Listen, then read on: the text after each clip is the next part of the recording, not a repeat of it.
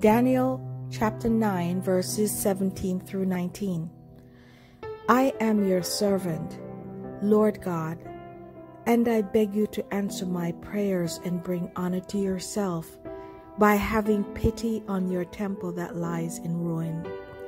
Please show mercy to your chosen city, not because we deserve it, but because of your great kindness. Forgive us. Hurry and do something, not only for your city and your chosen people, but to bring honor to yourself. Dear Lord, with simple words we come to you, first with gratitude, then asking forgiveness for anything that will hinder our prayers. You are the rock of our faith, our eternal hope, the source of our peace, joy, and existence. Your word is our guidebook through life, and we know your spirit is everywhere.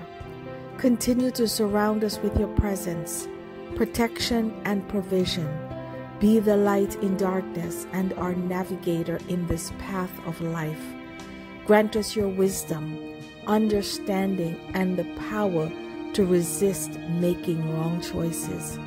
Thank you for your eternal love and care. In Jesus' name, Amen.